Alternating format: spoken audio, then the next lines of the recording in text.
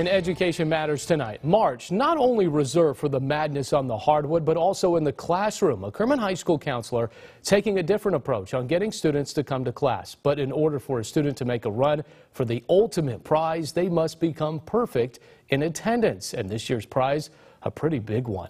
KSEE24's Angelica Leilani joins us live in studio. Angelica.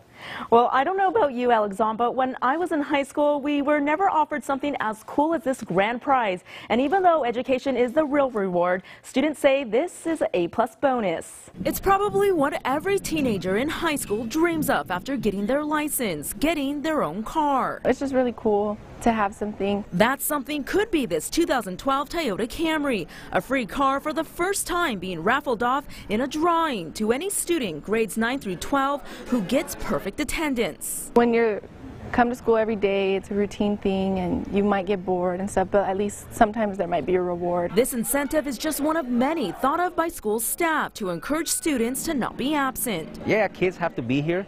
Um, that's their job to be here, but why not encourage them by giving them incentives like a a, a, car. And Kerman Unified Superintendent says it's working, especially on the chronically absentee students. He says two years ago they had the highest daily attendance in Fresno County, and they want to keep that going. This year we're about 97.5% uh, average daily attendance. A few years ago we were like 95, 94. So obviously you want to see that percentage go up because obviously it generates more funds for the school district. But attendance isn't the only concern, it's tardies too. So Mr. Alfonso Pacheco created a March Madness bracket using teachers as teams. Whichever classroom wins gets an all-you-can-eat taco party. Second place gets pizza. Seeing students excited about school brings joy to Mr. Pacheco. Sometimes emotional because some kids, um, they come to me and say, you know what, I didn't know you cared.